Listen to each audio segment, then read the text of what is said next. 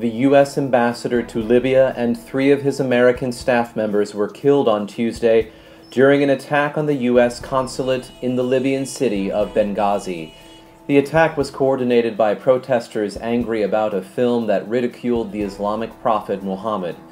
Ambassador Chris Stevens and a group of embassy employees went to the consulate Tuesday night to try to evacuate staff after the facility came under attack by a mob armed with rocket-propelled grenades and guns. The mob set the building on fire, forcing the Americans to choose between the attackers outside or the fire inside. Stevens and the others who died tried to escape to the roof of the consulate and succumbed to smoke inhalation. While some reports said Libyan security did little to stop the vicious mob, others say that some Libyan security officials were killed trying to quell the violence. Despite many claims to the contrary, the heavy weaponry wielded by the protesters and the date of the event, September 11, indicate that the attacks were planned rather than a spontaneous mob getting out of control.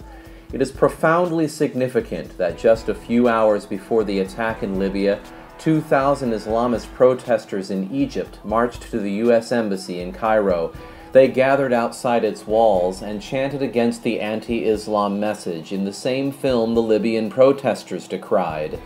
Dozens of protesters scaled the embassy walls and replaced an American flag with an Islamic one. Most of the embassy staff had evacuated the building earlier after having been warned of the approaching protesters. On Sunday, trumpet editor-in-chief Gerald Flurry said that it would be Egypt's influence that would sweep Libya into the radical Islamic camp. Iran and Egypt are going to have a great deal to do with sweeping Libya and Ethiopia along into that radical Islamic camp, he said. Just days after Mr. Flurry made this statement, Egyptian protests triggered Libyan protests, which resulted in the death of a U.S. ambassador. The death of an ambassador is no routine act of violence. An ambassador is a diplomatic official of the highest rank sent by a nation to represent that nation.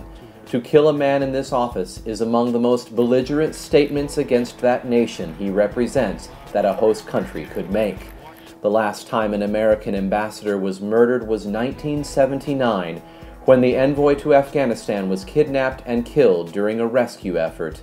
The significance of Mr. Flurry's forecast cannot be overstated. The attacks in both Egypt and Libya were the first of such assaults on U.S. diplomatic facilities in either country. They come at a time when both Egypt and Libya are charting new directions after the ouster of their longtime leaders, Hosni Mubarak and Muammar Gaddafi, in uprisings last year. Egypt's new direction as a radical anti-American Islamist force is now inescapably clear.